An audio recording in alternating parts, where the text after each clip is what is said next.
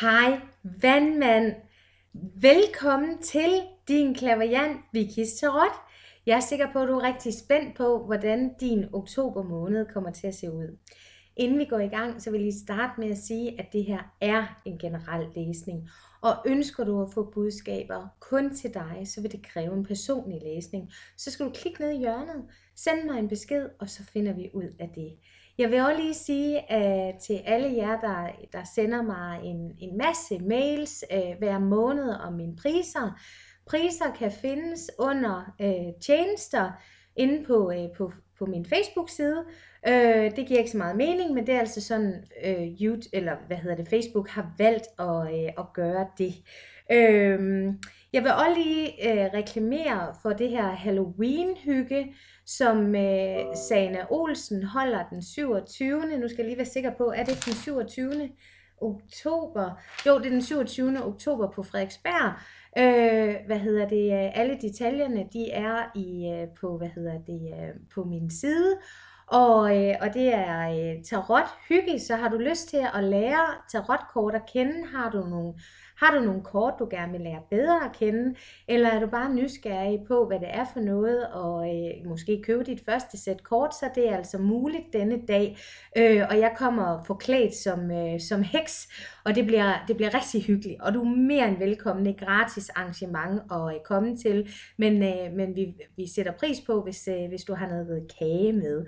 Øh, nå, men øh, nu har jeg da vist snakket rigeligt, og, øh, og så synes jeg, at vi skal komme til øh, månedens kort, fordi øh, altså, du er jo gået lidt i tænkeposition. Fire svær handler om at mærke efter, hvad føler jeg nede i min mave, min intuition, din øh, sjette sans, eller hvad du end vil kalde den. Hvad, mær- hvad mærker jeg i, i, i, hele, i hele systemet? Øhm, fordi der er ligesom nogle forvirrende følelser. Du er ikke sådan i, i den store kontakt med din, øh, hvad hedder det, intuition på nuværende tidspunkt, og for at blive det, så er du simpelthen nødt til at mærke efter. Øhm, det hele det er bare et stort mixmax af, af følelser og, øh, og inputs. Der, øh, det, det blæser om ørerne på dig. Vi har orkanen i baggrunden, og, og, og det er ligesom om, at du taber alle stringenterne. Det flyver bare ud af hænderne på dig. Du har, altså, og du kan næsten se, hvor angstprovokeret øh, den her heks hun er. Så, så der, der, der foregår altså virkelig noget for, øh, for vandmanden her i, øh, i oktober måned. Øh, men, øh, men, det er, men det er heller ikke værre, end at, at det er et spørgsmål om at tage beslutningen om at gå. Gå fra det, der ikke fungerer i dit liv. Hvad er det, der skaber kaoset? Hvad er det, der skaber dramaet? Hvad øh, er det på din arbejdsplads? Er det i dit forhold? Er det inde i dit hoved? Er det, øh, øh, er det de mennesker, du øh, allierer dig med? Er det, er det de projekter, du starter på? Øh, prøv lige at spørge dig selv, hvad er det, der skaber alt det her hul om hej, som foregår, som, som skaber så meget kaos? Prøv lige at mærke efter det, og så tag en beslutning om at gå fra det, for det fungerer ikke for dig. Det, det fungerer ikke. Og i løbet af oktober måned, der vil du altså pakke dine ting, og så vil du gå. Du vil gå nye veje. Og, øh, og nye veje, det, øh, det er jo altid spændende, og særligt for dem, der er single, fordi at vi har bærernes konge, og så har vi tre bærer, og det er der er kærlighed på, øh, på, på, på tegnedrengen, eller hvad hedder det, på, øh, der, der står kærlighed på tavlen. Så, så er du single derude, så vil du med al sandsynlighed møde en her i øh, oktober måned, hvor, hvor, hvor der virkelig er et vulkanudbrud af, af følelser til en festlig begivenhed, fordi vi har de tre kvinder her over de tre generationer, som skåler.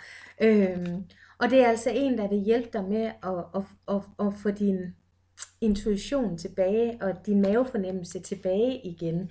Øhm, det var så mere specifikt på, øh, på de singler. Øh, det næste kort, du har fået, det er Judgment.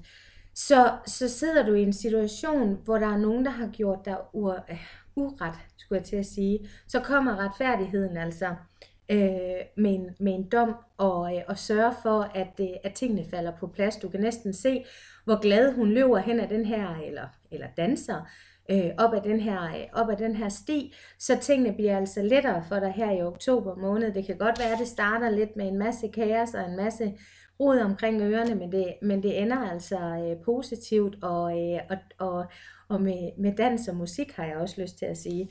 Øh, Månekortet kommer, fordi at du virkelig har været stærk i en, i en, i en lang periode, hvor du virkelig har måttet måtte øh, holde sammen på tingene, selvom selvom det har virvlet omkring ørerne for dig, så det har virkelig været en svær, en svær tid for, for vandmanden. Men nu begynder det altså at, at lysne, og du begynder selv at kunne se, hvor modig du er, og, og hvor, hvor stærk øh, du er. Øh, vi, har, vi har månen heroppe, og jeg er jo fan af månen, det tror jeg ikke, der er nogen, der er i tvivl om, fordi månen handler om vores intuition, vores mavefornemmelse, den her sjette sans, eller det her, den her susen igennem kroppen, følelse, så du bliver altså bedre og bedre til at mærke efter, hvad er det, du, øh, du føler inde i dig. Vi har stien her i baggrunden, og når jeg ser en sti, så handler det om som et symbol på, at du er på rette vej. Tingene begynder altså at gå i den rigtige retning for dig på nuværende tidspunkt. Men der er altså en beslutning, du skal tage, øh, og den, den beslutning handler altså om dit mindset. Det er bundkortet, vi har her. Øh, du, du, der er altså en beslutning, der skal træffes i forhold til, at, at, at du, skal, du skal altså have ændret dit mindset og, og fokusere på de positive ting.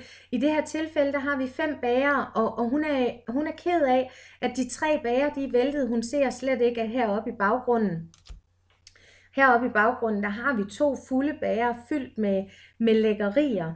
Øh, og, øh, og der er måske endda gæster, der stadigvæk øh, kommer til hendes lille festlige arrangement. Så øh, øh, hvad hedder det, øh, det der med ikke at tage sovende på, øh, på forskud og, øh, og bare være og nyde. Øh, jeg har selvfølgelig også trukket nogle hjælpekort til dig, og dem skal du da også have. Og du har fået Transparency, som handler om, at du skal være hvad hedder det, autentisk. Du skal være oprigtig. Når, øh, når du kan mærke, at noget føles forkert, så skal du sige det.